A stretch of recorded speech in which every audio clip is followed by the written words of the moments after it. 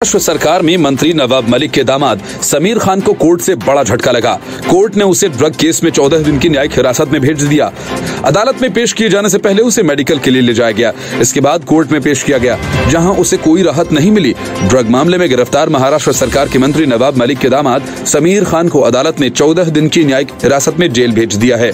महाराष्ट्र सरकार के मंत्री नवाब मलिक के दामाद समीर खान को एनसीबी ने हाल ही में गिरफ़्तार किया था। इसके बाद उसे कोर्ट में पेश किया गया। अदालत ने एनसीबी को समीर खान की 18 जनवरी तक कस्टडी दी थी। अब उसे 14 दिन की न्यायिक हिरासत में भेजा गया है। दामाद की गिरफ्तारी के बाद नवाब मलिक ने कहा कि कोई भी आदमी कानून से ऊपर नहीं है, इसे बिना किसी भेदभाव के लागू किया जाना चाहिए। मैं अपनी न्यायपालिका में बहुत विश्वास और इसका सम्मान करता हूँ। ड्रग्स और बॉलीवुड से जुड़े मामलों की जाँच के दौरान एनसीबी को ये पता चला था कि इस मामले में एक आरोपित और समीर खान के बीच बीस हज़ार रूपयों का ऑनलाइन लेन देन हुआ है। इस मामले में ब्रिटिश नागरिक करण सजनानी और दो अन्य आरोपितों को 200 किलो प्रतिबंधित ड्रग्स के साथ गिरफ़्तार किया गया था।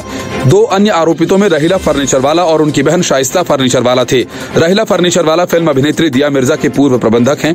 नवाब मलिक के दामाद को इससे पहले एनसीबी ने पूछताछ के लिए बुलाया था। अंतर्राष्ट्रीय ड्रग पेडलर करण सजनानी के पूछताछ के बाद एनसीबी ने समीर खान नाम के एक शख्स को समन भेजा था। पूछताछ के बाद एनसीबी ने समीर खान को गिरफ़्तार किया। समीर खान की गिरफ्तारी के बाद बीजेपी महाराष्ट्र सरकार पर हमलावर हो गई। बीजेपी ने महाराष्ट्र सरकार पर इस मामले को लेकर निशाना साधा। बीजेपी नेता किरीट सोमैया ने ट्वीट करते हुए कहा कि अब एनसीपी मंत्री के दामाद पर एनसीबी ड्रग्स स्कैम मामले में जाँच हो रही है। इसके अलावा उन्होंने कहा कि एक अन्य ट्वीट में लिखा है, नवाब मलिक जवाब दो। इससे पहले मुंबई के मशहूर मुच्छड़ पानवाला शॉप के मालिकों में से एक राम कुमार तिवारी को एनसीबी ने गिरफ़्तार किया था। जाँच के दौरान सजनानी ने एनसीबी को राजकुमार, जिसके बाद एनसीबी की एक टीम ने मुच्छड़ पानवाला के केम्स कॉर्नर स्थित शॉप पर छापा मारा और वहाँ से उन्हें 500 ग्राम सीबीडी मिश्रित गांजा मिला। बता दें कि इसी ड्रग केस को रिपब्लिक मीडिया समूह ने प्रमुखता से अपने टीवी चैनल पर उठाया था। इसके बाद महाराष्ट्र सरकार पर भी कई तरह के सवाल उठने लगे और एडिटर अर्नब गोस्वामी पर उद्धव सरकार शिकंजा कसती गई रिपोर्ट News